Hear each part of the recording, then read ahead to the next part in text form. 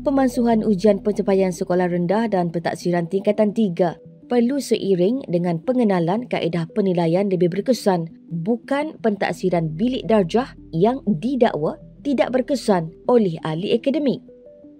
Penganalisis pendidikan Osman Talib menegaskan Kementerian Pendidikan sepatutnya memperkenalkan kaedah menambah keseronokan pembelajaran dan penilaian, bukannya tekanan sehingga menimbulkan kegelisahan ibu bapa berhubung bagaimana anak-anak mereka dinilai.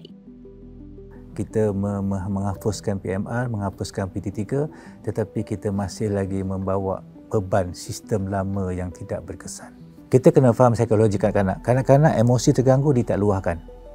Kalau dia dah kata empat kata lima dia akan memberontak. Jadi dikala mereka tidak meluahkan dan mengikut apa saja yang kita berikan, we take thing for granted.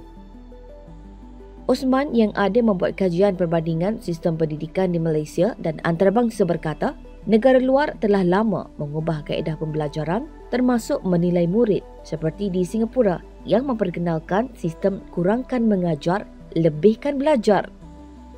Tapi kita dari tadi lagi dah ada skor dan akhirnya uh, kita melihat bahawa skor itulah masa depan anak-anak kita. Akhirnya matlamat hala tuju pendidikan itu diletak kepada peperiksaan. Mak bapak komen, guru komen, anak murid sekarang tidak ada hala tuju sebab tak ada peperiksaan. Sebenarnya bukan anak tu tak ada hala tuju, sebenarnya yang tidak ada hala tuju adalah KPM. Beliau turut mencadangkan KPM mempelajari sistem dan silibus pendidikan awal di luar negara yang penuh dengan aktiviti praktikal bukan membebankan dengan mata pelajaran banyak dengan penanda aras tinggi.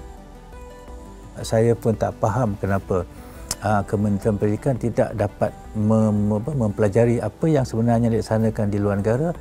Bayangkan anak kita belajar selama 11 tahun sampai SPM. Selepas SPM ada sebahagian besar tu seperti tidak belajar apa-apa.